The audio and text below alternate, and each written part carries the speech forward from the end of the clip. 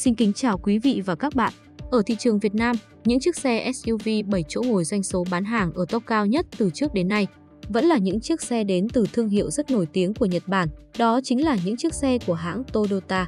Trên màn hình quý vị và các bạn đang xem chính là chiếc xe Toyota Fortuner Sportivo 2.7 máy xăng, số tự động, màu trắng. Chiếc xe được sản xuất năm 2016.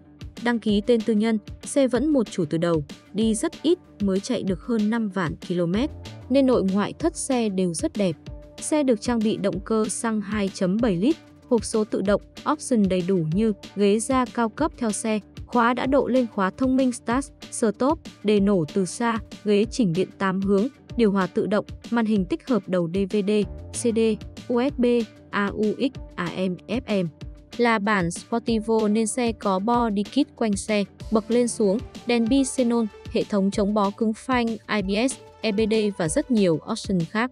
Chúng tôi cam kết xe đẹp nguyên bản, không đâm đụng, không ngập nước, keo chỉ nguyên bản, máy móc nguyên bản.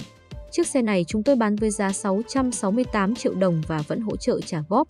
Vay tối đa lên đến 70% giá trị xe với lãi suất rất ưu đãi, thủ tục rất đơn giản. Chỉ từ 3 đến 5 ngày là quý vị đã được nhận xe.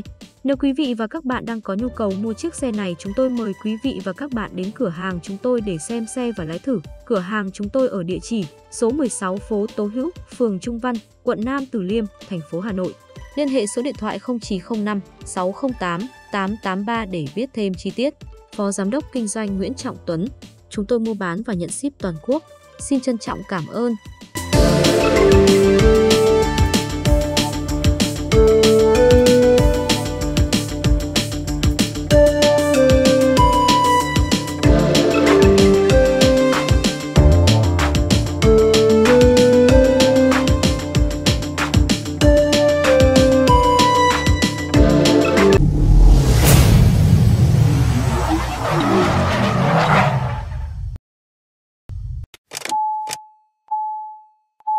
Mm-hmm.